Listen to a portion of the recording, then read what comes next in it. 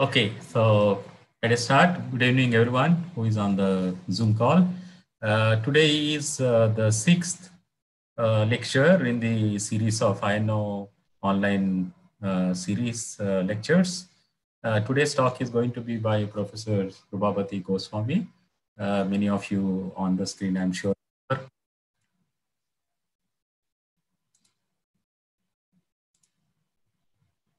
Uh, Goswami is a senior professor in the physics uh, physical research laboratory at Ahmedabad, and she did a PhD in University of Cal Calcutta. Her research area is high energy physics phenomenology, uh, with a special emphasis on physics. She is a, an active member of INO collaboration, and she's also a fellow of all three Indian uh, science academies. Um, so, with this uh, very brief uh, introduction, I request uh, Subha to start her uh, presentation talk. Okay, so good evening, everyone. Uh, those who are in India, and good afternoon to those who are outside. I have one or two names who are outside, and uh, so I will be uh, start. Uh, I will be talking on the the Nobel prizes that has been received in neutrino physics, and through that I want to trace the history of neutrino to the up to the development of establishment of neutrino oscillation and i will discuss little bit about the current status and open problems. Uh, just to put things into perspective i will start with a historical prelude of you know development of modern physics. Uh, so so that you know you can appreciate that how things uh, developed and uh, you know what is the role that neutrino physics played in this so uh, we can, uh, a good starting point maybe in 1869, discovery of cathode rays by Hittorf uh, through the uh, Faraday radiation. Like uh, Faraday observed radiation from the cath uh, cathodes and then Hittorf said that these are the cathode rays. And J.J. Thomson discovered electrons in 1897. Then in 1896, 1898, we saw discovery of radioactivity by Becquerel, Marie, and Pierre Curie.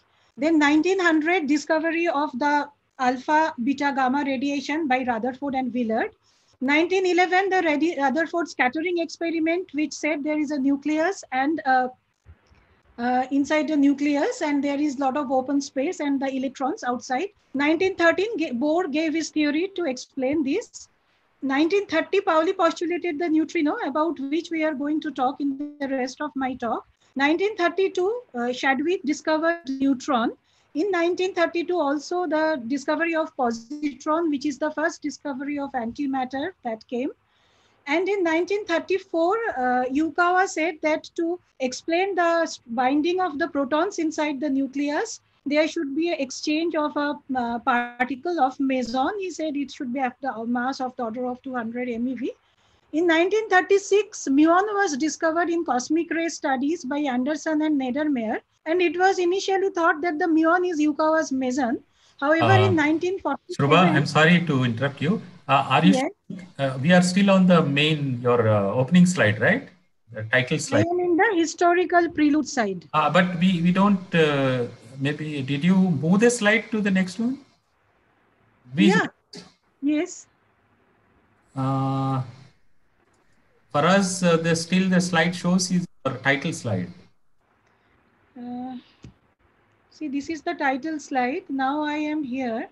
One see, they are always saying that internet connection is unstable. Uh, uh-huh. so now I am in the historical prelude side. Can you see that? No, no, we can't. Uh, we, this is only a slide, uh, what do you call our, uh, okay, let me also uh, unmute but Datar, can you can you see uh, what is the current slide? No, no, I also cannot see.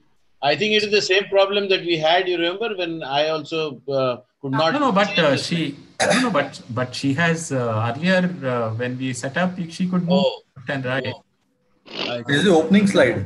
Yeah, this is opening slide. Yeah, this is. Uh, I have a second. I am on the second slide now. No, no, but we continue to see. Yeah, but the viewers are seeing only oh. slide number one. Somehow. Okay, okay, okay. Uh, there is a message. Uh-huh. sharing is paused. Bring your share window to the front. So I don't know. I should. Is it? Sorry, what is try it? sharing or something? I have no other window open. Just a second.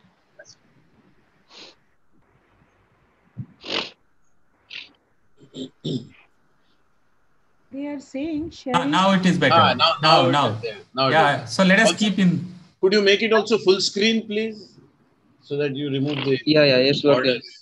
Okay, let me do full screen. Yeah, I'm afraid uh, it should not go into somewhere else. So maybe this. Ah, yeah, yeah. Sharing is paused. When I am doing full screen, Ah. then it sharing No, is no, no, no. I think let us. Uh, you go back Okay, okay. Reg- Then we can regular one. and only you move this right side tab like the way you did before, and uh, that will be enough. Ah, yeah. yeah, yeah. Okay, that is better. It's better. Ah, okay. Thank you. Now I can mute. So, so I I was discussing the historical prelude. Sorry, you could not see the slides, but it's all known to you, and I'm flashing it. I won't repeat. Uh, so I I was uh, in 1936 uh, when uh, muon was discovered, and initially uh, it was thought that it's the meson, but uh, which Yukawa predicted. But in 1947, meson was disco- uh, discovered by Powell and his collaborators. So with this um, historical prelude, I will come back to 1930 when Pauli postulated the neutrino. So uh, this is the plan of the talk. Uh, first, I will discuss the history of the neutrino. Then I will discuss the discovery of the electron and muon neutrino. Then I will come to neutrino oscillation, then solar neutrino problem, atmospheric neutrino anomaly, little bit on the current status and future and open issues. So the story of the neutrino is really a story of the um, of impossible dreams to unreachable stars, and the impossible dream was uh, dreamt by Pauli uh, in 1930 when he wrote a letter, and the letter said, "Dear radioactive ladies and gentlemen, I have hit upon a desperate remedy to see, save the law of conservation of energy." There could exist electrically neutral particles that I wish to call neutrons, which have a spin half and obey the exclusion principle.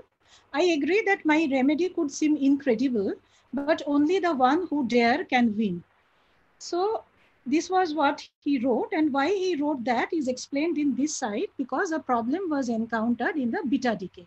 So in 1914, Chadwick discovered that the electron energy spectrum in nuclear beta decay is continuous. So he got a curve like, uh, so it was observed that the curve is, I have a continuous uh, energy spectrum of the electrons.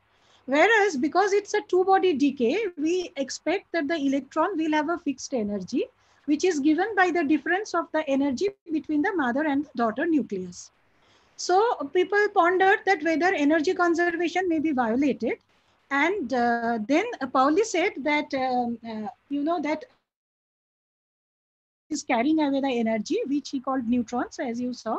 And this helped in restoring the energy conservation because the energy was shared between the electron and the neutrino, which now we know that is an anti-neutrino.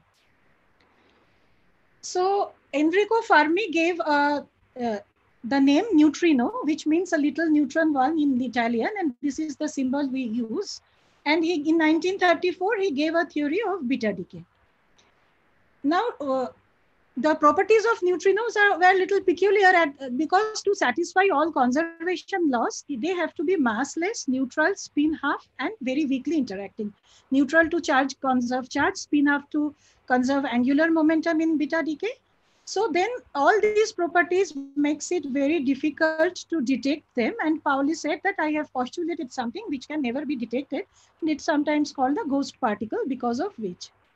But this impossible task was accomplished in 1956 by Reines and Cowens. And 25 years after it was postulated, so you can see the difficulty that was involved and it was very challenging. So the experiment was as follows. They used the uh, electron antineutrinos again from the nuclear reactors. And this, uh, they had a water detector and these uh, antineutrinos will be captured by the protons in the water and they will produce neutrons and the and e, uh, positron. The positrons will interact with the ambient electrons to give two photons And uh, they also added some cadmium chloride because cadmium has a very high capture cross section for neutron. So they will absorb the neutron and they will uh, produce, go to the excited state and in coming to ground state, they emit another photon.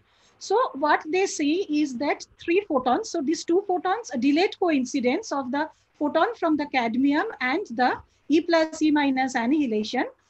Um, these uh, photons were uh, produced scintillation in the scintillator uh, detector and the detected by the photomultiplier tubes. So uh, the history of this experiment is as follows, which was from the um, you know Nobel lecture by uh, Reines. What he said, and I really liked his uh, title of his Nobel lecture, "The Neutrino from Poltergeist to Particle." So what he said was the Second World War had a great influence on the lives and careers of very many of us for whom those were formative years. I was involved during and then subsequent to the war in the testing of nuclear bombs. And several of us wondered whether this man-made star could be used to advance our knowledge of physics. For one thing, this unusual object certainly had lots of uh, fissions in it and hence was a very intense neutrino source. I mulled this over somewhat but took no action. So it seems he discussed this idea with Fermi and Fermi was encouraging. However, later he thought that one can use the electron antineutrinos from nuclear reactor which, uh, in which fission occurs in a controlled environment. And this is the letter Fermi wrote to him. Dear Fred, thank you for your letter of October 4th by Clyde Cowan and yourself. I was very much interested in your new plan for the, for the detection of the neutrino.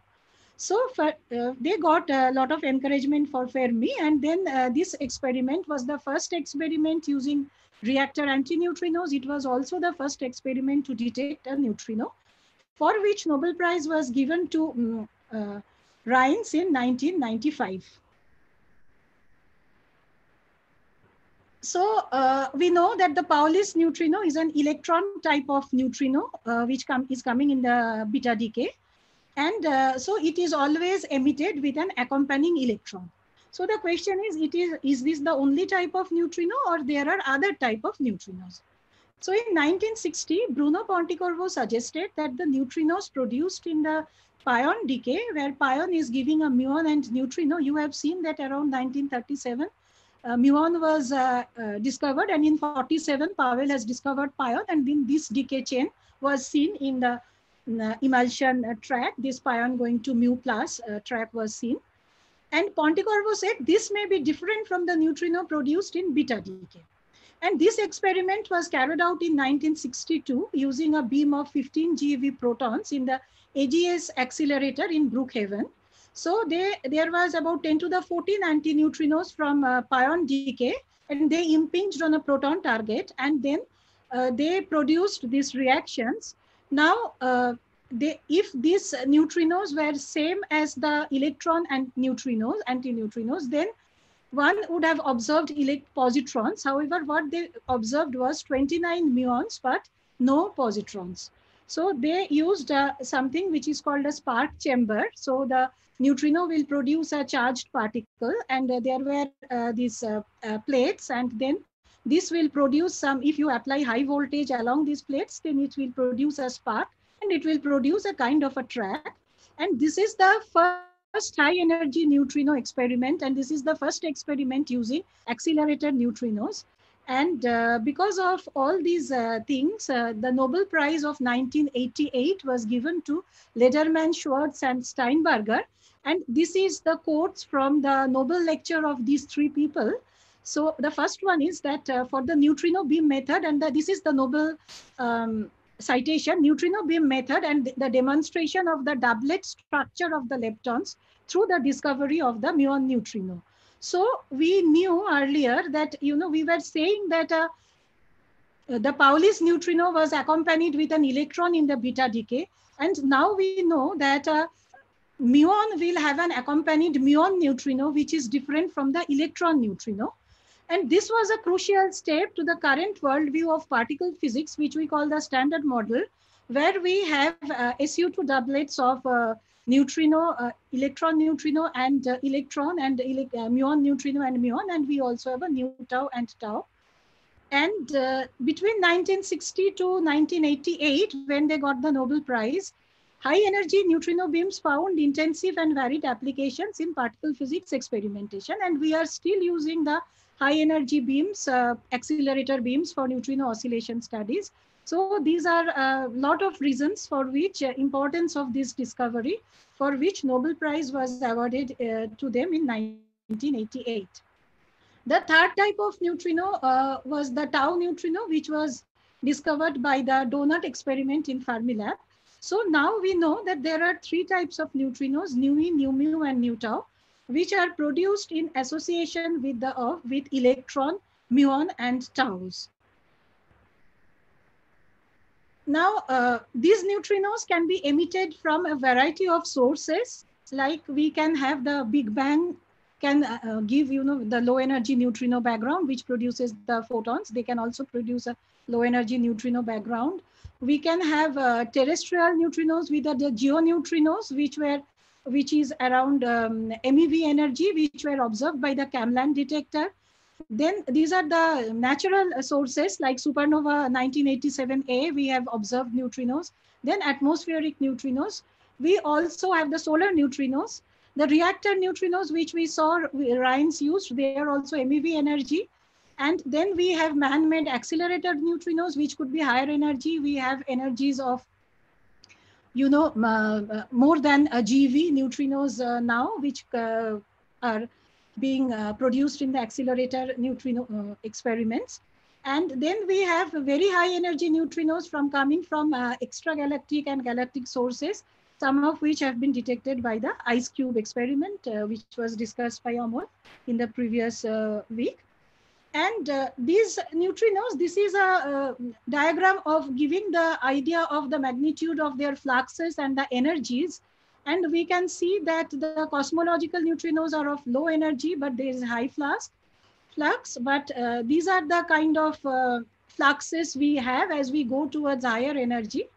And they uh, span a wide range of energy. So they help us to study the universe at various energy scales. Now the thing is, if there are so many neutrinos coming from all these sources, why can't we see them? And the mm, uh, reason is most of the people, I think, who are attending this lecture know that they are very, very weakly interacting. So we are not able to see them. So how does is a neutrino detected? It's detected as we say that e produces an electron and a uh, nu mu produces a muon. So we detect these charged leptons and then that, that's how we detect the neutrinos. And since neutrinos are very weakly interacting, the detectors have to be very big so that we have enough statistics. They have to be deep so that we uh, reduce the cosmic radiation and they have to be clean to reduce radioactive background. So these are the three criteria for the general criteria that we have to keep in mind. And you can see this is a cartoon which shows that, you know, there are 100 trillion neutrinos per second going through us and there will be one interaction in 100 years and to have of the order of 300 interactions per day, we need a huge detector. So why do we want to do so much effort to detect them? That's because there are many interesting properties. Uh, they are responsible for the sun to shine.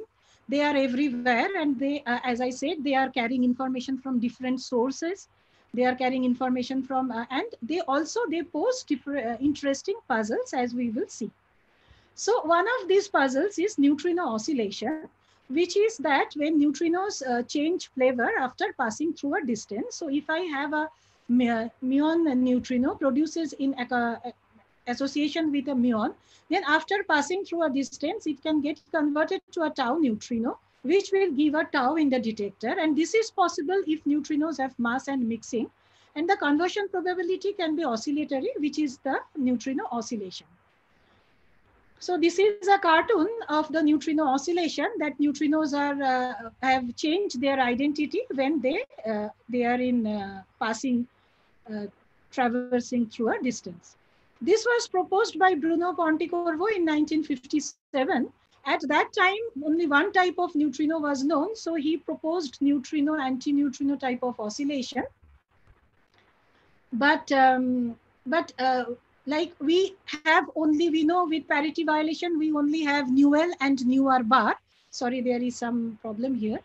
And uh, two neutrino mixing was proposed by Maki, Nakagawa, and Sakata in 1962. So uh, Bruno Pontecorvo had contributed many ideas in the development of neutrino oscillation. He predicted that neutrinos associated with electrons are different from those associated with muons. And for experimental verification of this, Nobel Prize was awarded to Steinberger, Lederman, and Schwartz, as we discussed. He proposed reaction for detection of solar neutrinos in the chlorine experiment, which we will discuss. And for this, Nobel Prize was awarded to Raymond Davis in 2002. And he also proposed that the idea that the neutrinos may convert into other types of neutrinos, uh, which is the phenomenon of neutrino oscillation, and for which Nobel Prize was awarded to Kajita and McDonald in 2015. So we can see that, you know, the three Nobel Prizes that I'm going to discuss, the basic ideas came from Pontecorvo. So this is a physics of the neutrino oscillation that when neutrinos have mass, then nu mu and nu tau are not particles of finite mass, but they are mixtures of this. So I have uh, nu mu and nu tau, and they are mixtures of light and heavy mass states. These, these states are states of definite mass, which are propagating, and this nu mu and nu tau are the weak interaction states produced uh, in the decays. Now we have a superposition of the state, and how does they um, evolve in the, how do they evolve in the vacuum? So as the neutrinos travel, then the heavier part will fall behind, and the what will happen is that at this point, a neutrino will not be a nu mu anymore, but it will be a mixture of nu mu and uh, tau because the proportion which made of nu light and nu heavy, which made a nu mu has been changed after they traveled through a distance. So this is a the two flavor oscillation in vacuum that uh, you can one can easily calculate the oscillation probability. This is a mixing matrix cos theta sine theta minus sine theta cos theta and these are the mass states. And neutrinos acquire different phases as they propagate because of their different mass. So EJ is p square plus mi square by 2p. And so this mi is different. So a phase difference develops between M1 and uh, because M1 is not equal to M2. And at some later time, the state nu t will have this exponential IE1t and exponential IE2t. And this is no longer the state nu with which it started. And one can calculate the survival probability in vacuum by taking the superposition of between these two states and taking the mod square. And one finds that this is 1 minus sine square 2 theta sine square 1.27 delta m square L by E where delta m square is the mass square difference between the two states. L is the distance traveled and E is the energy. So this is the flavor oscillation of the neutrinos because this is P nu E nu E, which is the survival probability and the oscillation probability nu E nu mu will be 1 minus the survival probability because of conservation of probability. And this is sine square 2 theta sine square delta m square L by E 4E. Now this can be written in terms of the oscillation wavelength lambda where the lambda is defined as 4 pi e by delta m square. Now we are using natural unit and uh, so if we uh, do that, then we get the, the expression that it is 2.5 meter E in MEV, EV square in delta m square. So we see that neutrino oscillation requires non-zero neutrino mass, non-zero mixing angles, and the oscillation effects is maximum when delta m square is of the order of E by L. Because from here we can see that if lambda is much greater than L, then uh, we will have the oscillation wavelength much greater than the distance traveled. So there will be no oscillation which will be developed. If lambda is much less than L, then this oscillatory term will be uh, averaged out to half. But when lambda is of the order of 2L, that is that delta m square is of the order of E by L, then this term is 1. So the oscillation effect is maximum. Another thing to see is that here we have sine square uh, delta m square L by 4E. So this is not sensitive to the sine of delta m square and it is not sensitive to the absolute mass. It is sensitive to the mass square difference. So these are the basic uh, features of neutrino oscillation in two generation and we can extend this to more generations, but this basic uh, basic uh, features uh, remain the same, but there will be more parameters. So there will be some more complications. Now this is important when we are planning an experiment that the oscillation is effect is maximum when delta m square is E by L and we can design experiments uh, depending on what delta m square uh, to probe. So this is a kind of the um, idea of that, you know, which experiments can probe what kind of delta m square. Reactor experiments, because typical energy is MeV and distance traveled is 100 meter, they can probe 10 to the minus 2 eV square. Low energy accelerators, 10 MeV and 100 meter, they can probe 10 to the minus 1 eV square. High energy accelerator can probe GV, GeV energy and 1 kilometer, so they can probe 1 eV square atmospheric neutrinos, if they have GV energy and 10,000 kilometer, then this is all an order of magnitude. Atmospheric neutrinos and solar neutrinos have some spread. Uh, so then this, you know, they can probe a range of mass. Even if you have a uh, spread in the accelerator energies, then you can have a probe a range of masses. Now, initially, when the uh, neutrino oscillation experiments were um, done, then you know there were not much plan. Like we have a reactor source, we have a detector, or we have an accelerator source, and experiments were conducted. But slowly, when the things started becoming more clear with solar and atmospheric neutrino result, then when one went for planned experiments, so we had the long baseline reactor experiment, which are MeV neutrinos and one kilometer. So they were designed to probe uh, 10 to the minus 3 V square. And if one uh, extends this distance to say 100 kilometer or 200 kilometer, then one can probe 10 to the even lower uh, delta m square 10 to the minus 4 minus 5. We will see example of such an experiment later.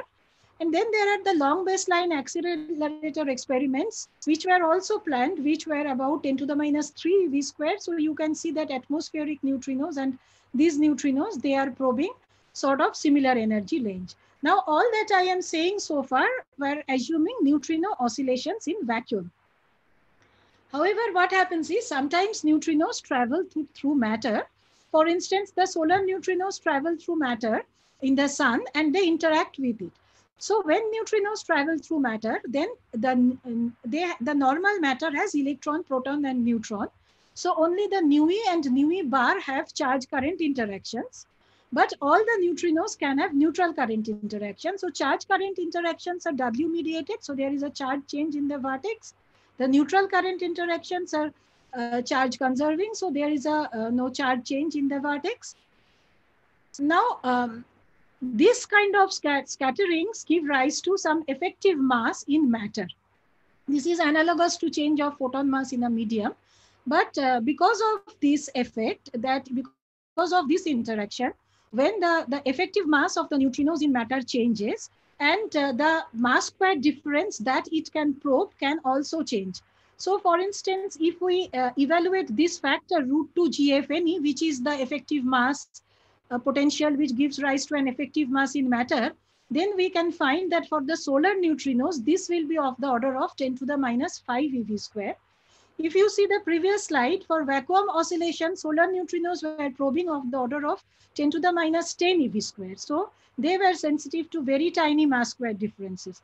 However, if one introduces the matter effect, then the solar, if the matter effect is responsible for the solar neutrino oscillations, then it will be of the order of 10 to the minus 5 eV square.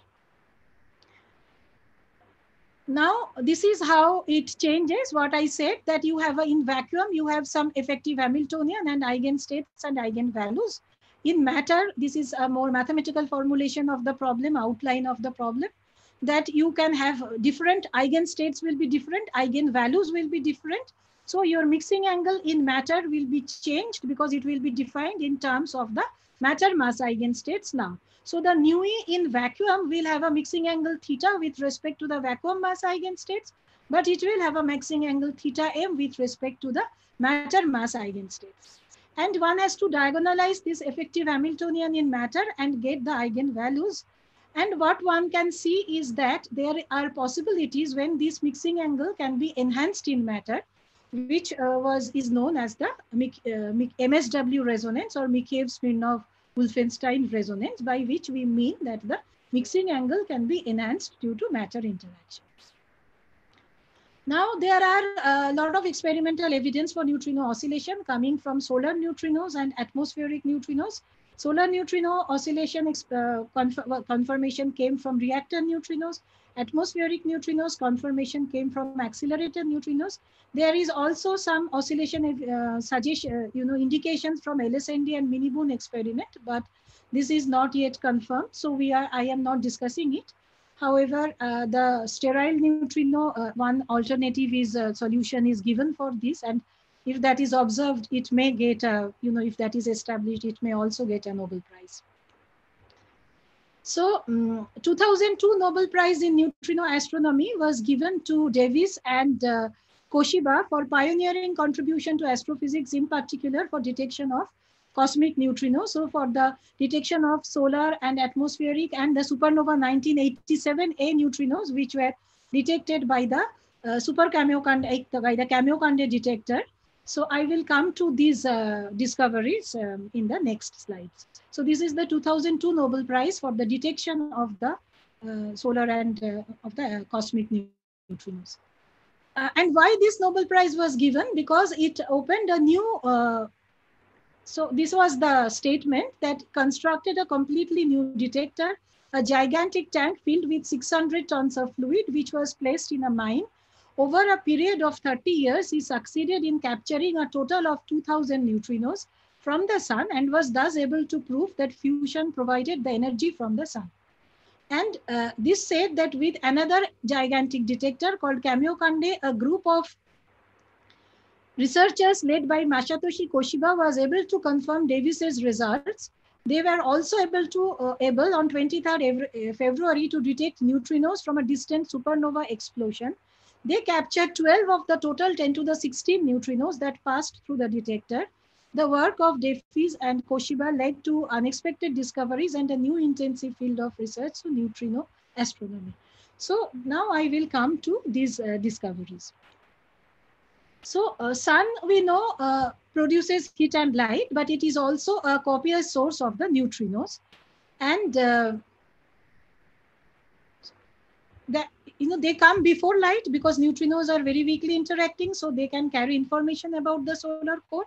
And they can come in the night because they are um, they can uh, uh during the night also they can come so it's not you know from the other side they pass to the other side, uh, but they are not interacting uh, very much. So they can uh, come in the night also.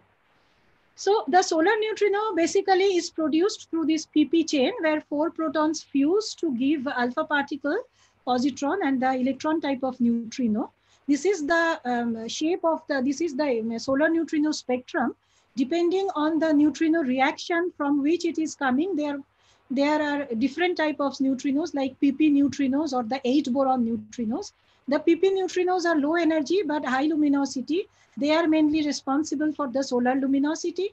And the 8 boron neutrinos have uh, pp have low energy and high luminosity. 8 boron has lower luminosity but they are of higher energy so detectors which are sensitive to high energy can detect these neutrinos and uh, the shape is determined from the uh, nuclear reactions, but the normalization depends on the standard solar model calculations. And this standard solar model was developed and refined by John Bahcall for a, you know, for over many, many years. So um, uh, the first detection of these neutrinos was by the, as I, I said, by the 37 chlorine experiment in the Homestake mine the uh, main uh, aim of these experiments actually was to probe the solar interior with the neutrinos and verify hypothesis of energy generation in stars.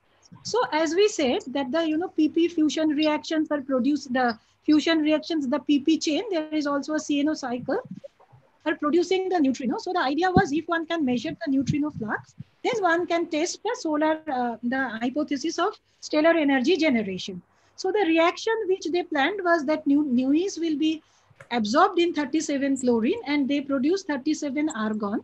And then the 37 argon, uh, they study the radioactive decay of 37 argon and count the neutrinos.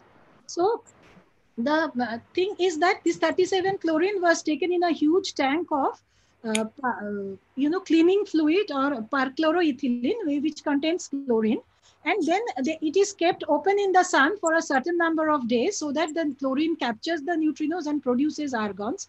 The, these argons are chemically extracted and then so one has to uh, one has to expose this to, so that you know the argons don't decay. So you know the, uh, one has to know uh, the half life of argon, and so one has to expose it accordingly. And then this argon was extracted chemically, and the radioactive decay of argon was studied. And then the number of neutrinos were counted. So that was a complicated procedure.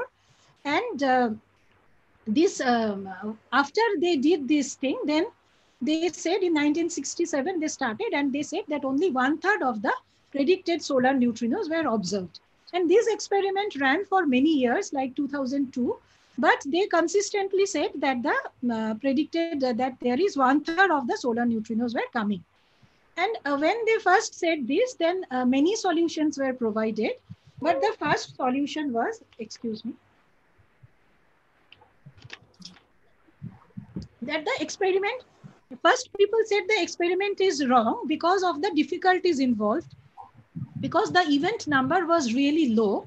And they said that, you know, to, it is difficult to detect a handful of argon atoms in a big tank. So, uh, and there are so many extraction procedures and there are so many instruments. So the first thing was that the experiment may be wrong. Then some people said maybe the solar model calculations are wrong. And uh, then also they said that the solar electron neutrinos are getting converted to muon or tau neutrinos. That was one of the solution that, you know, we have the only the electron neutrinos from the sun and they are getting flavor converted to other flavors. Now, new experiments were planned to check the above results. So one of these experiments was the uh, SAGE experiment and the GALLEX. They used gallium. They started in 1991. And the importance of this experiment is this is also a radiochemical experiment. So the problems with the radiochemical technique that were uh, posed were, is there here also. However, they are sensitive to the low energy PP neutrinos. So if they can, um, this is uh, that, you know, we are having uh, energy neutrinos of different energy coming. So they could check the low energy PP neutrinos, which are responsible for the solar luminosity. And then uh, in 91, also the Kamiokande experiment started, which is the Kamioka nucleon decay experiment. Here also this experiment started in a different, uh, for a different reason. Uh, there are certain theories which says that proton is not stable, the grand unified theories that proton decays. And the Kamioka nucleon decay experiment wanted to uh, uh, study this, it started for that. However, um, they also had the sensitivity to do the solar neutrino studies and uh, they observed they they studied the solar neutrinos and they said that half of the solar neutrinos are coming however this uh, these experiments are real. Kamioka experiment is a water cherenkov detector. It detects neutrinos by neutrino electron scattering and the neutrinos produce a cherenkov the electrons uh, uh, produce cherenkov cone inside the water detector. And so they can record an event. So these are called the real time experiment and they can measure the direction of the incoming neutrino. So this was the first experiment which verified that the, so this is the, uh, and, uh, the plot of the events with the angle. And they say that the, they first verified that the neutrinos are coming from the sun. This was, um, this Kamiokande experiment was later extended to high statistic super Kamiokande experiment, which is, you can see, you know, it uses 50,000 kiloton of purified water and 13,000 photomultiplier tube. So the active detector element here is the photomultiplier tube. Cherenkov radiation is produced by the electrons, then they produce signals in the photomultiplier tubes. And this is running from 96. And all these experiments said that the solar neutrino fluxes are not coming uh, as much as they should come. So this is the chlorine experiment. This blue is the observed and this yellow is the prediction from the uh, this, this thing is the prediction from the standard solar model. This green is the 7 beryllium, yellow is the 8 boron. Chlorine had a high energy threshold, so it was sensitive mainly to the 8 boron. Then this is Kamiokande and uh, super Kamiokande. They also had a, so uh, chlorine was sensitive to the 7 beryllium and 8 boron neutrinos, but uh, Kamiokande and super Kamiokande sensitive only to the 8 boron neutrinos. So they observed half of the neutrinos uh, to be coming. And then there is the gallium experiment, which also observed about half of the neutrinos to be coming. And uh, so they all these experiment observed that the observed Newey flux, that's so electron neutrino flux coming from the sun is less than the theoretical prediction. So this is the solar neutrino problem which remained unsolved for 30 years. Now, uh, the next experiment we joined... Bihar, Rekha, you have ये काम दिया है mother चोद ने Okay, so the next, sorry? The next experiment which joined is the Sudbury Neutrino Observatory experiment. And this experiment used heavy water and the uh, you know unique feature of this experiment was it had a charge current uh, interaction where the NUI interacts with the deuteron and produces an electron and it has a neutral current interaction which is sensitive to all neutrino flavors. So it used heavy water. Now what happens is that they can measure the charge current to neutral current ratio. And if the charge current to neutral current if the if there these nu e's are from the sun we are getting only nu e's and if these nu e's are not getting converted to nu mu's and nu taus then this ratio would be one however if this uh, this NUI uh, plus nu mu if these NUI nu e's are getting converted to nu mu and nu tau then this ratio should be less than one because then we will have more neutral current events than charge current events so this experiment can prove if the neutrinos are electron neutrinos coming from sun are getting converted to the muon and tau neutrinos or not.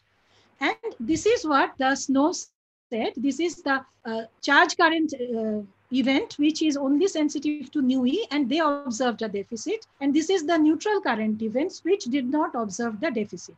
So also, so there are two things which they uh, proved. First of all, their charge current to neutral current ratio was less than one. So they said that there is evidence for non-zero nu mu nu tau flux from sun. Second is by detecting the muon and tau neutrino flux, they established, uh, no, so they, what they have is they, um, uh, they uh, measured the total neutrino flux and you know, this is matching with the theory.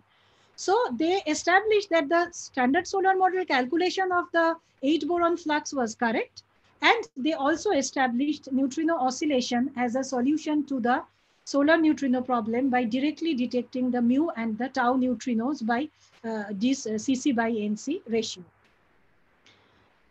So this is what um, uh, the thing is that the neutrinos change themselves and the Nobel citation rate that meanwhile the research group in Canada led by Arthur, for this the Nobel Prize was given in 2015 and the Nobel citation rate, the research group in Canada led by Arthur McDonald could demonstrate that the neutrinos from the sun were not disappearing on their way to the earth. Instead, they were captured with a different identity when arriving to the Sudbury Neutrino Observatory.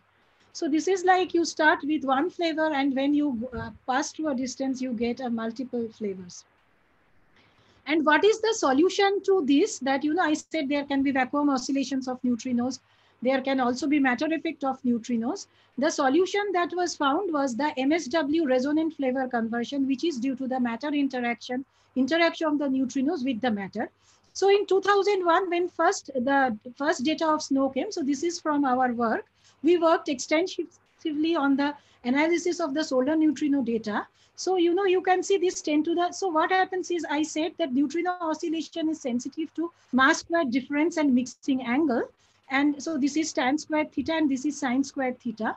So uh, what happens is that, and they are also sensitive to, uh, so depending on what is the solution, one can probe different mass square differences. So if vacuum oscillation solution is the true solution, then it will be 10 to the minus 10 EV square. However, if matter matter's effect is the matter interaction is the solution, then it is 10 to the minus 5 EV square, or it can be 10 to the minus, you know, so this is minus 5, uh, minus 6 to minus 5 or minus 5 to minus 4, depending on what kind of solution uh, will explain the data. Initially, when the SNO result came, we had many solutions possible.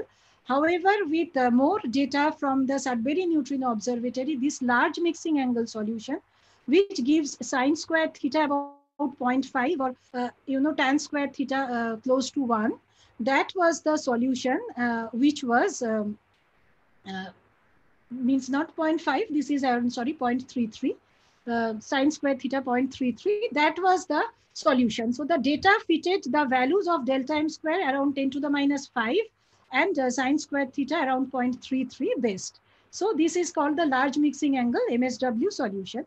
This was confirmed by KamLAND experiment using reactor neutrinos.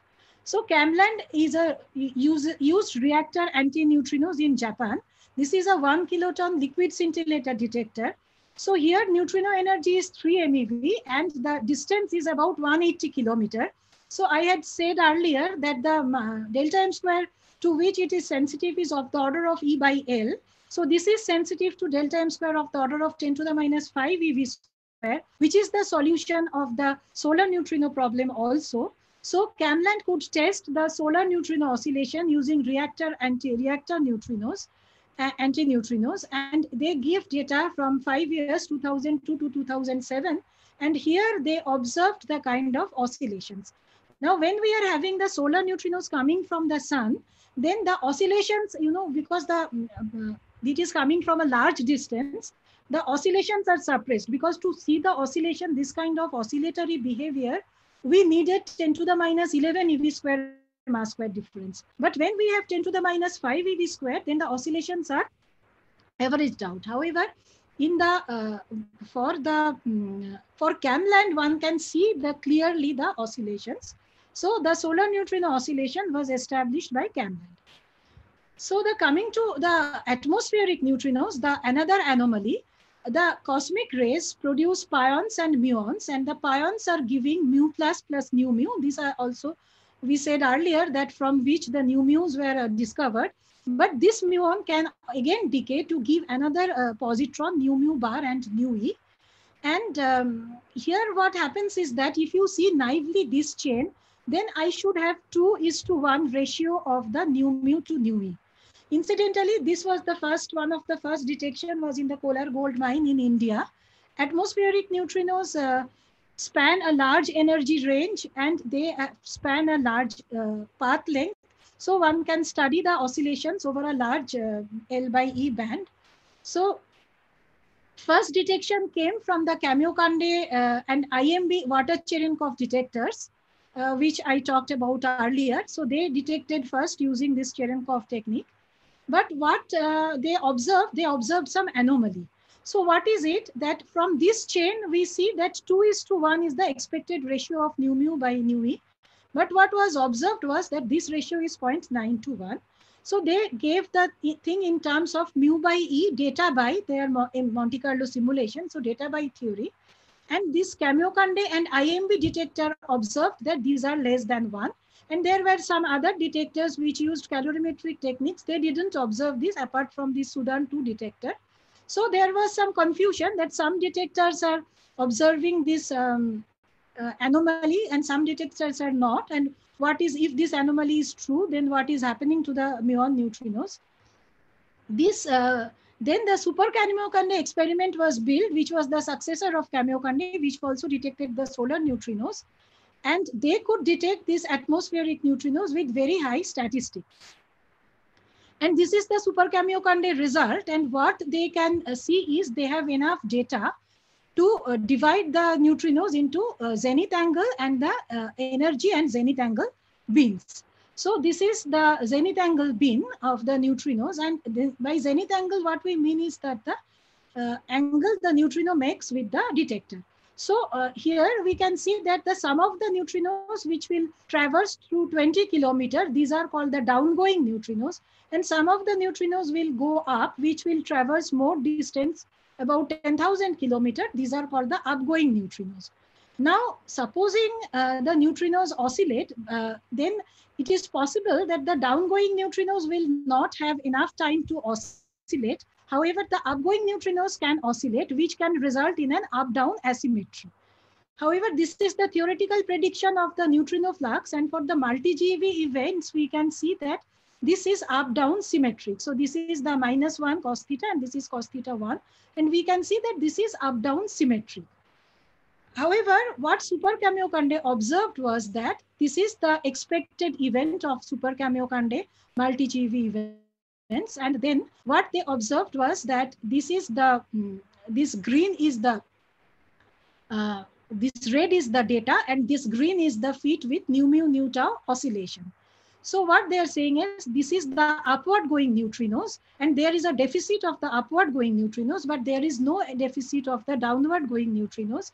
So there is indeed a, a up-down asymmetry which, uh, uh, which established tau oscillation as the solution to the solar neutrino problem. So this is the from the um, uh, Nobel lecture of, uh, this is from the talk of Kajita at that point and then uh, what uh, he said was around the turn of millennium, Takaaki Kajita presented that neutrinos from the, this is the Nobel citation, from the atmosphere switch between two identities on their way to Super Kamiokande detector in Japan. This was confirmed later by accelerator in, uh, experiments like K2K, MINOS and T2K. So this is the solution to the um, uh, solar neutrino, the atmospheric neutrino problem that uh, this is two generation nu mu nu tau oscillation here matter effect does not play role because to the leading order because nu mu and nu tau interact with the matter in the same way. So the relevant probability, a two generation oscillation probability uh, gives a very good fit to the data. And uh, this is the allowed area from the, this uh, black is the atmospheric allowed area.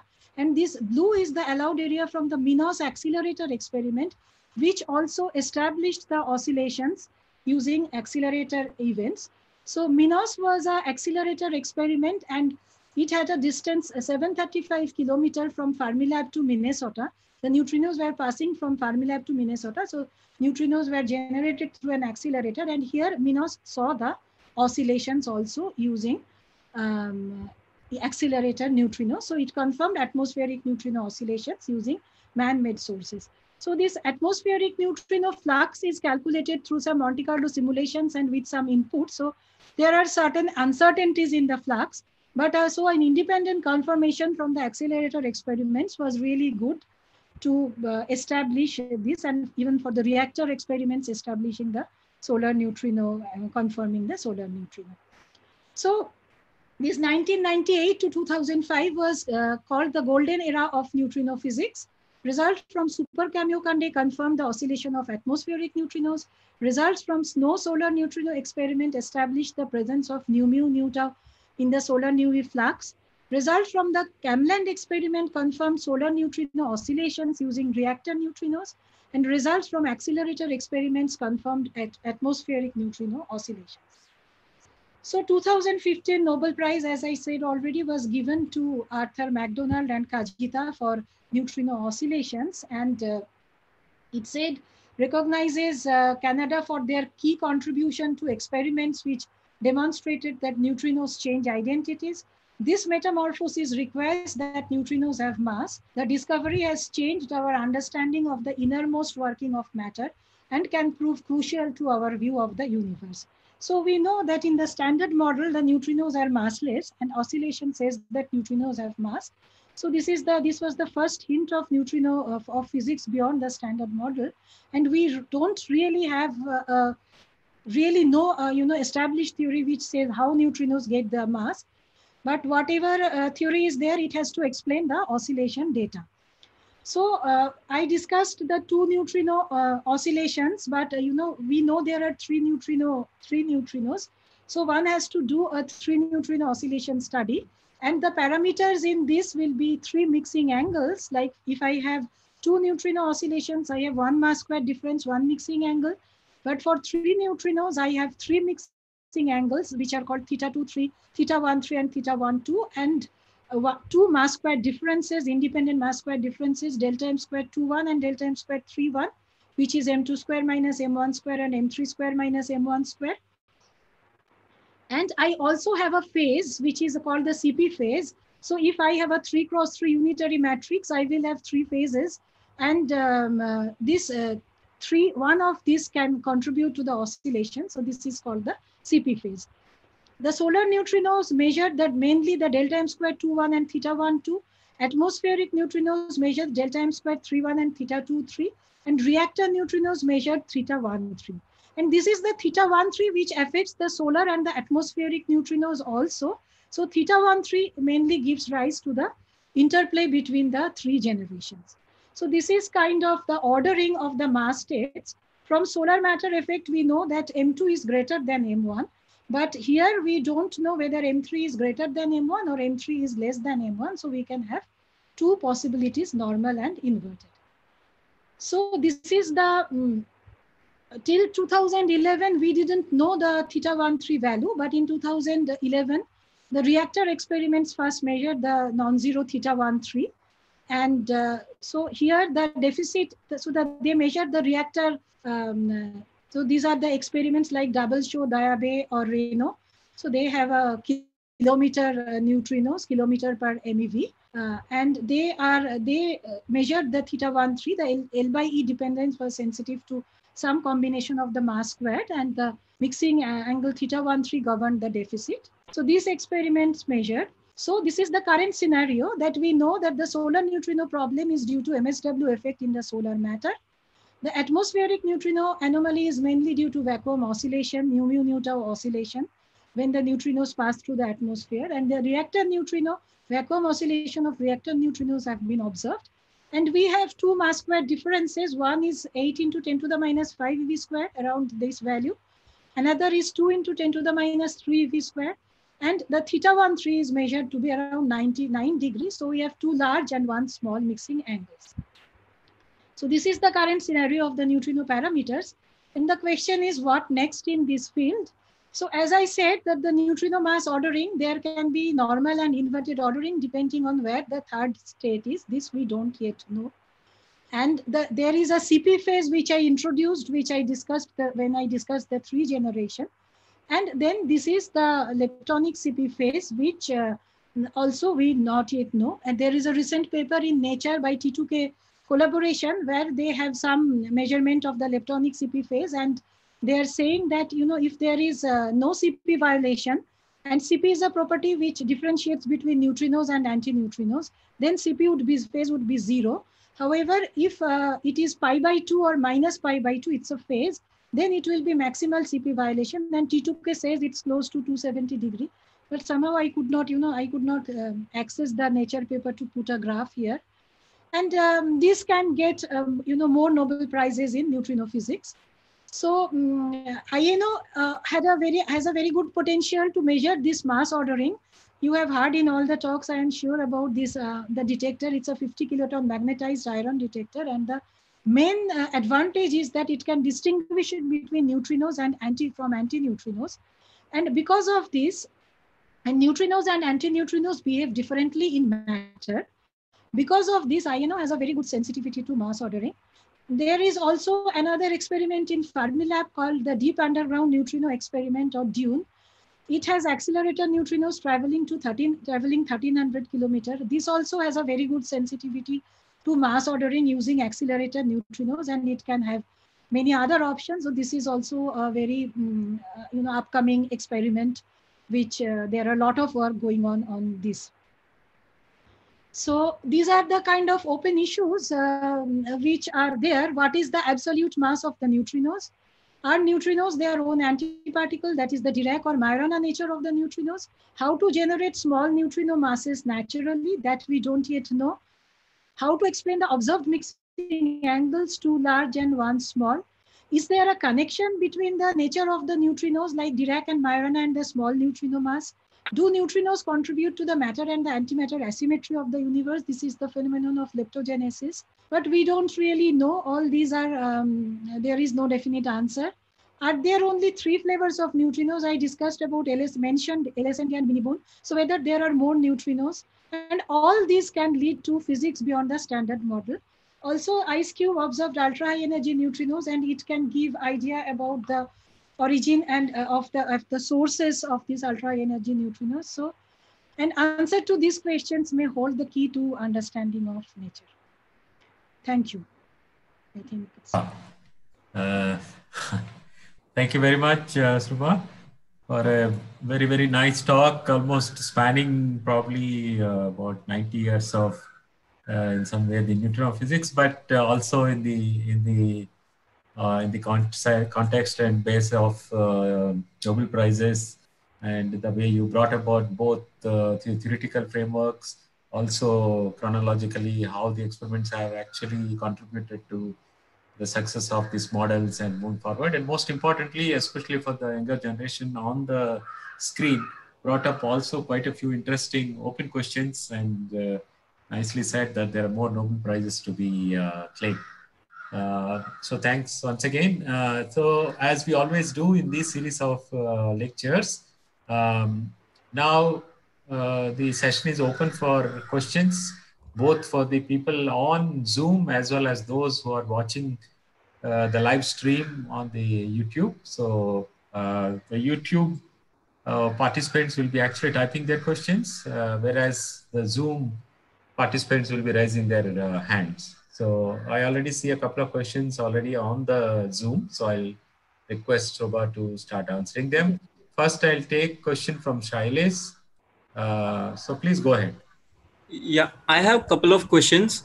Yes. So around your uh, slide 19, where you showed uh, various sources of neutrinos, Yeah. uh, there was a region where several sources had like similar flux and similar energy. So it was kind of overlapping. So how do we differentiate those sources in experiments? Let me come to that slide. huh?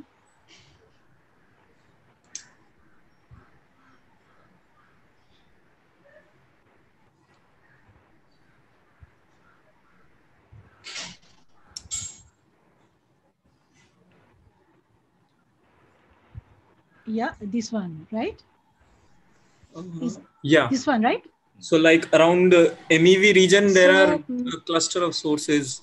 So how do we differentiate yeah those? see for you know yeah so for instance like you know for instance we have the uh, KamLAND experiment which measured the reactor antineutrinos they also measured the geoneutrinos in fact the geoneutrinos were a background for the reactor antineutrinos okay now uh, so like uh, but then you have to see some so the, so it is uh, possible that you know like so some of the source some of the sources will be uh, backgrounds for uh, these uh, kind of measurements.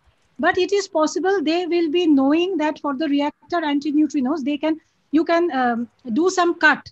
Like you won't take the reactor antineutrinos where the geoneutrino flux is um, you know overlapping with the reactor neutrino flux. So you have to provide a cut there because you don't want to confuse your geoneutrinos with the antineutrinos. Then there are certain like for instance the geoneutrinos are coming from potassium or from there you can uh, have their uh, you know spectrum. You know what should their spectrum be. For certain sources you can do for the with the directionality for instance you know solar neutrinos you can do with the um, directionality. For the supernova neutrinos there can be other uh, uh, signals like you know supernova will be uh, it will be a just a you know burst. It will not go for a uh, so um, for a long time. So these are the kind of things one has to keep in mind when there are multiple sources uh, from uh, in a similar energy region that one has to so that was that is also one of the reason uh, that you know one has to go underground and cut down uh, say for instance if you have some cosmic ray background from there it can come so that it doesn't come. Uh, that is also another reason that you have to go. But as far as these co- are concerned one is the directionality from which you can say that it is coming from certain direction. Another is you have to give suitable cut so that you don't take the those neutrinos Thank you. And my second question is regard, regarding uh, around slide 49 or 50, where you were showing atmospheric neutrino results. Yeah. So there, uh, it was shown that uh, from atmosphere, from cosmic rays, we get in general a muon neutrino, a muon antineutrino, and an electron neutrino. yes So is it like okay to assume that it is two to one muon to electron neutrino ratios? I mean, one is antineutrino and antineutrinos No, are and I neutrinos did mention that you know you like you have pi plus you also have pi minus. So from hmm. atmosphere we get both neutrino and antineutrino flux. And most of the detectors are not able to distinguish between them. That is the advantage of INO that INO can distinguish between neutrinos from antineutrinos. So it's not that cosmic rays are produce only pi plus they are also producing pi minus so you Oh. also have the antineutrinos So when you say nu mu, then it is nu mu plus nu mu bar and nu e plus nu e bar. Yeah. But if you can uh, distinguish between the um, uh, neutrino and antineutrino, then uh, you can study certain properties. Thank you very much. Okay. Yeah. Oh, I'm Uh, to mention it. We we uh, now take question from Naveen. Uh, I'm unmuting. Please go ahead, Naveen. Hello. Yeah. please go ahead. Uh, ma'am, my question is about the open challenges uh, from the in your open challenges page. Uh, I don't know, remember the number, but you said that the, there can be uh, more than three flavors of neutrinos. Yes. I am Uh, so- asking this question. This is an open question. So does that mean that there can be multiple, uh, so that uh, the mass states can form a continuous uh, uh, pattern or continuous spectrum? See, what happens is that it's not that like I, I showed you, no, I showed you the oscillation with two neutrinos, okay? I Yes. can extend it to have another neutrino. So it is just a basic quantum mechanics. You have a superposition of states. So Yes. if I have uh, four neutrinos or five neutrinos, people are not thinking more than that, then you can have uh, so many mass states. So you say that, okay, I have, say I have a fourth neutrino, then I have a, another mass state. So I will have uh, three neutrinos, which we I call nu e, nu mu, nu tau, and then say I have a nu x, and I have four mass states, nu one, nu two, nu three, nu four. Then you have to do your oscillation uh, analysis in a similar way. And then there will be a charged lepton associated with that uh, fourth or fifth neutrino also. See, that is a tricky question because so far what we are saying is that this neutrino is a sterile neutrino. Because in the standard model, we have three neutrinos and three charged leptons. Okay, we have not seen anything else. Else, there is certain data in standard model, you know, like for instance, decay of Z boson, which goes to nu nu bar pair, from where you can see that, you know, there are uh, three neutrinos. Now, if there is a neutrino which is having the standard weak interaction, then we would have seen it. So when we are postulating a fourth neutrino, then we are saying that it is not my standard neutrino, but what is called a sterile neutrino. So Okay. associated with that, we are not really postulating a fourth uh, lepton, but there are other studies where people study fourth generations, you know, like standard model, where you have, you know, mm, uh, uh, sequential, uh, another sequential lepton, uh, but it is not, um, uh, these, these are very severely constrained. So for the neutrino physics, what we uh, study, what uh, many studies actually are going on in this field, which is that there is a sterile neutrino which is not having a standard electroweak standard interaction. Now, from which model it is coming, there are certain models also, but because the sterile neutrino existence is not yet established, like the associated lepton uh, with that, it that is not uh, that it is not that like its two are sort of independent. There are uh, studies on four generations which are very severely constrained from, and you know, when we are extending the lepton generation in standard model, we have to also extend the quark generation. So then it gets very severely constrained. But uh, for neutrino, this is just another neutrino, which is uh, not a standard neutrino. Thank you. Okay, uh, uh, let us go to YouTube questions, couple of them. Um, let me start with one question, which is by Dhananjay.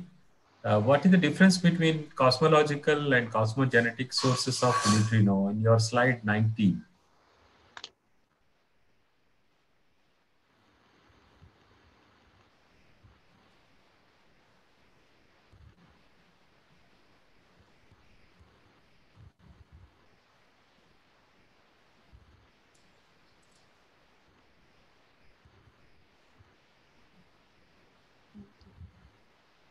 Yeah, that's it.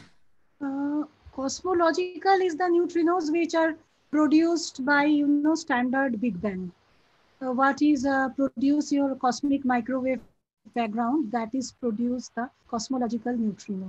Uh, what they mean here by cosmogenic neutrinos, I exactly don't know. Maybe these are the uh, high energy neutrinos coming from you know unknown sources. I exactly don't remember what uh, they mean by the cosmogenic neutrinos here in this plot. But if you see here, we have this extragalactic and galactic neutrino sources, like which are coming from, uh, uh, you know, like uh, astrophysical objects. But you can check, like it will be there somewhere. I exactly don't remember in this what they meant by. But these high energy neutrinos are coming from the astrophysical sources, like this is the AGN. But cosmological are very low energy Big Bang uh, produced neutrinos. Okay. Uh, there is another one uh, from this uh, YouTube. Uh, do we have a cosmic neutrino background just like cosmic microwave background? Since we have uh, have these uh, cosmological neutrinos, you know, this is a kind of a spectrum that is there. So this, like the cosmic microwave background photons, there are also some neutrinos which are produced during Big Bang. But it's very difficult because they have so very low energy. It's very difficult to detect them. Come back. Uh, there's one more question on the zoom again by shailesh. So yeah shailesh please go ahead. Shailesh? Yeah can you hear me? Yeah yeah we can yeah so my question is uh, like the uh, regarding possibilities of uh, more number of neutrinos like a sterile neutrinos. Yeah. so in three neutrino scenario we assume our mixing matrix to be unitary so that the probability is conserved. Yes. So if we uh, include fourth neutrino the 4 cross 4 neutrino must be like a unitary. But the 3 cross 3 part of that neutrino will no longer be uh, unitary. So in that uh, if we use that 4 cross 4 matrix we may not be able to uh, so you know it will depend on at what exactly explain the 3 cross. you at what scale you are studying the uh, problem. So when we are doing the 4 neutrino then we are taking a 4 cross 4 unitary matrix okay but you are right that, you know, if I have a heavier sterile neutrino, then the uh, 3 cross 3 part can be non-unitary.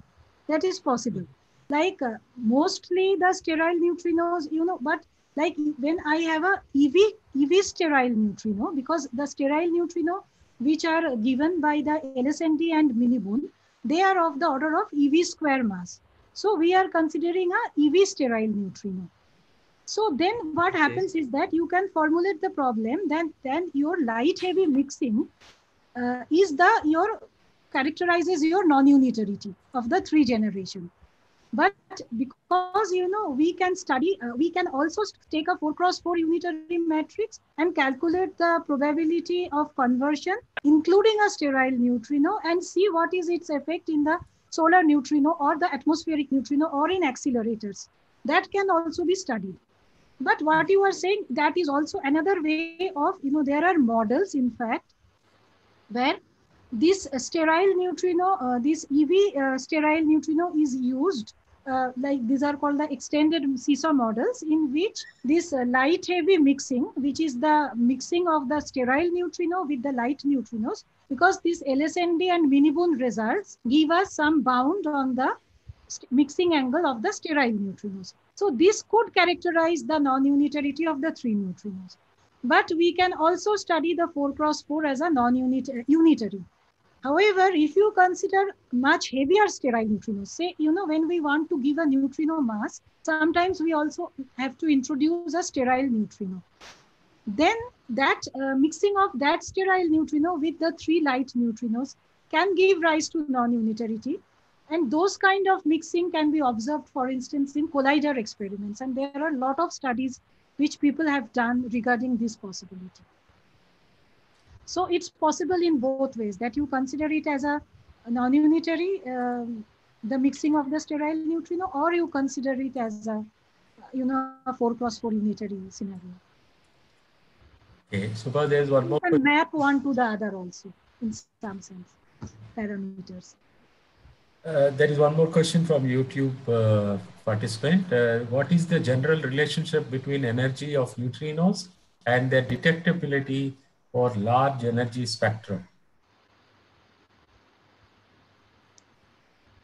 Uh, means uh, that so we there are different kind of detectors so depending on the energy of the neutrino you have to choose your detector. For instance if you see the when i discussed the solar neutrinos then you saw that you know the solar neutrino 8 boron neutrinos had a flux which went up to quite high.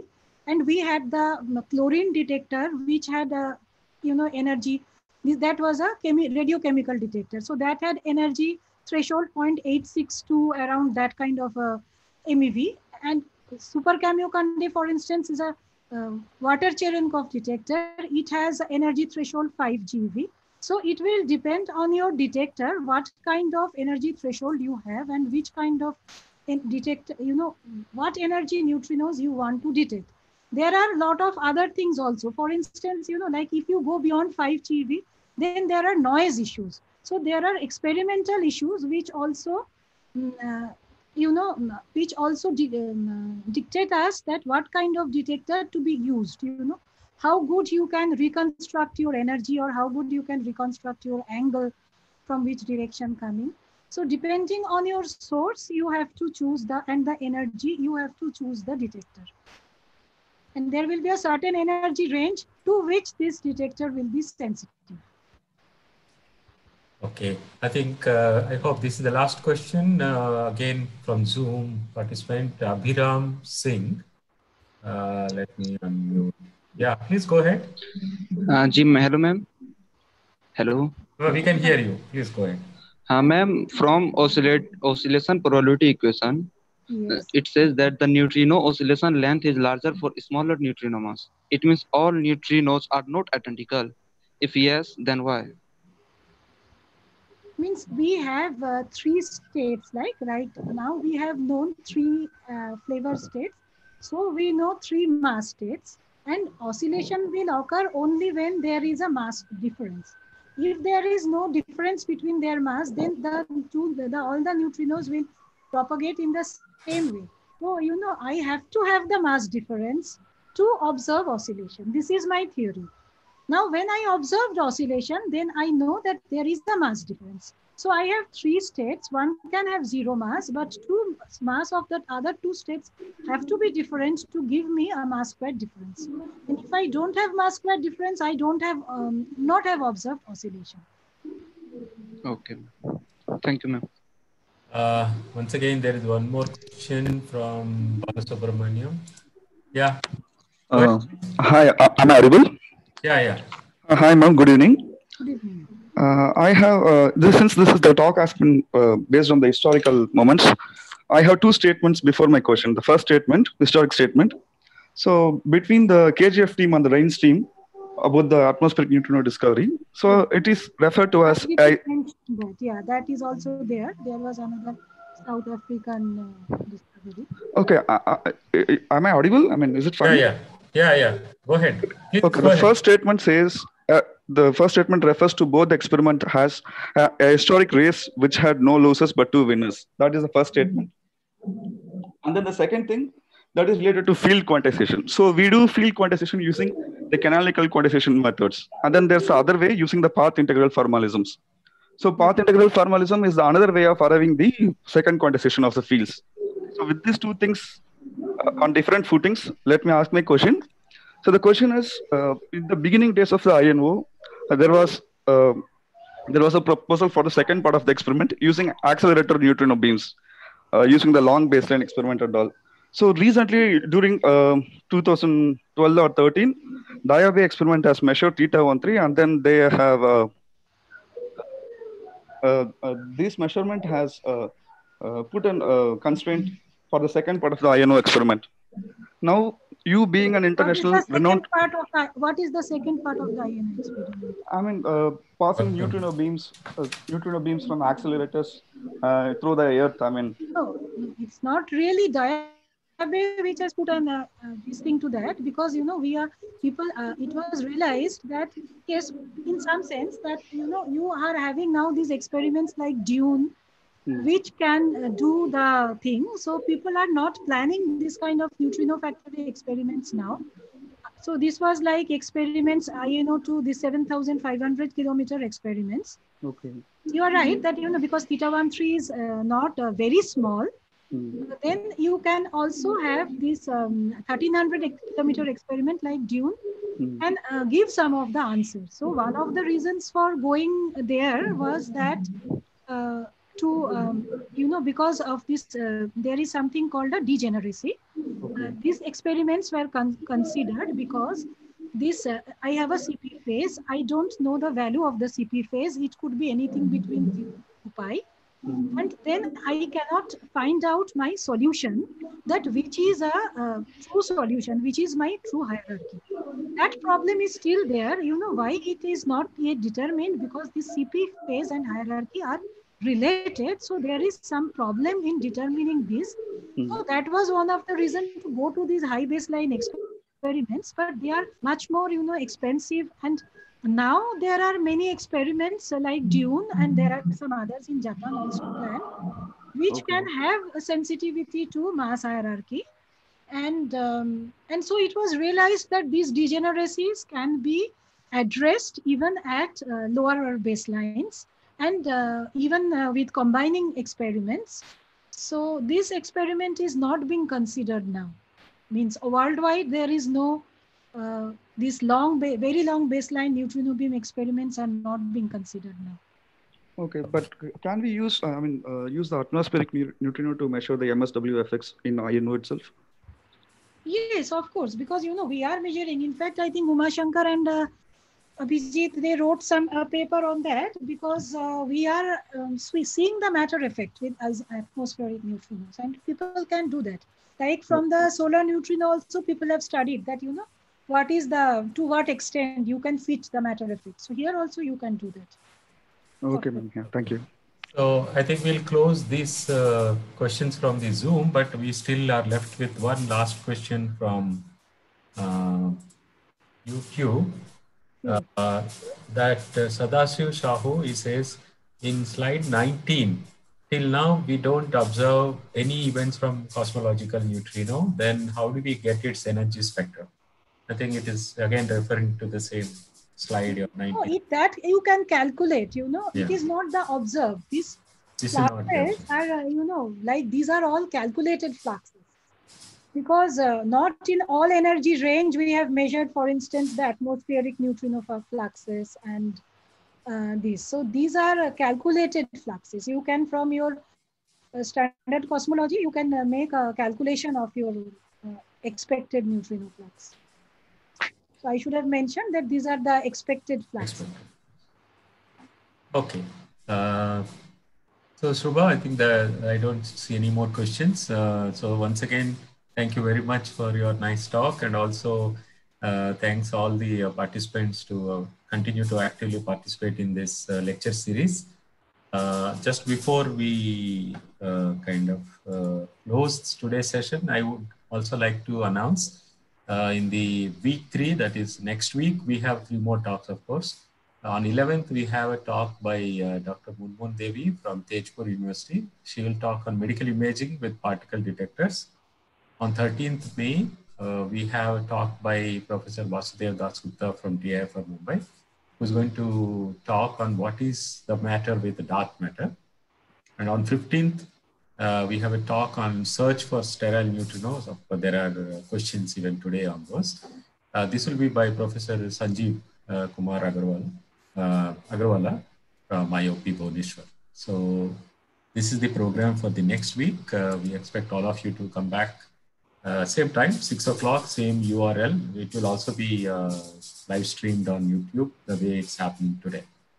Uh, so with that, if Shubha doesn't have any concluding comment or anything, I, Shubha, you want to? Thank you, everyone, and stay safe, stay healthy. Okay, so once again, thank you. See you again on Monday at 6 p.m. Thank you, sir.